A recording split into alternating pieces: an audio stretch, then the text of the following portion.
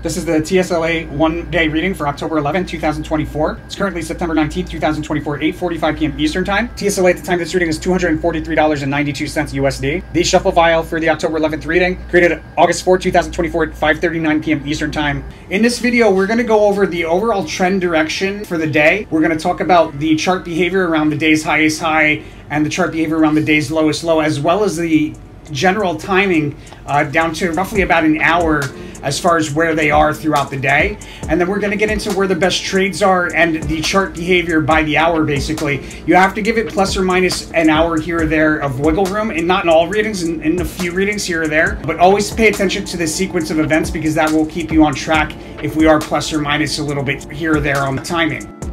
So we have this continuation of whatever this situation is with this with this uh, priestess card this might have to do with some sort of foreign legislation. So here throughout the second week of October, there's something going on far, with foreign legislation. You can see even the, the priestess card is here as well. Interesting, really prominent. And it correlates to right there on, on Monday morning, the 14th. Interesting. So this has probably got something to do with foreign legislation, and I think it's probably, it will negatively impact it at least temporarily, some sort of news in that regard. Behavior around the high side, a nullified crest that we sell off from through multiple support levels, indicating that we probably rally back out of it in not too distant future. Behavior around the low, a rally out of the low, offering opportunity to open up a short position, indicating that we're li likely going to see the low again, or we see a lower low. I'm advised to trade around an important technical resistance level that we rally into and then we return to and, and some.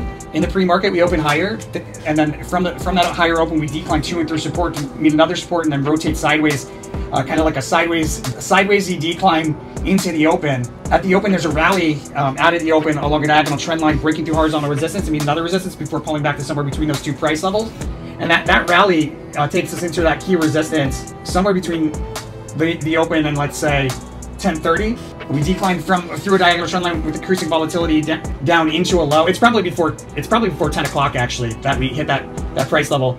And so then we have this rally turnover into a low, and there's a low there between roughly uh, 10 and 11. Rally out of that low, taking us to a peak with sideways rotation and a big move to the upside into a peak somewhere around 1130, 1145.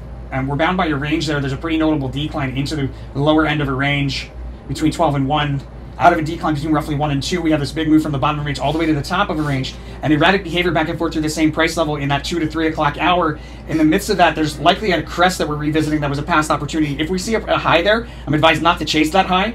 Maybe just before three, if we if we do see a high there, and in the midst of that erratic behavior back and forth, we end up side doing sideways rotation along a low in the last hour, uh, with a big move out of that sideways rotation and then more sideways rotation at a higher price level as we go into the close that actually it might even be a little earlier than that. We might be declining into the close already because there's those lows and the tower card. Hard to say, but we open lower on the 14th.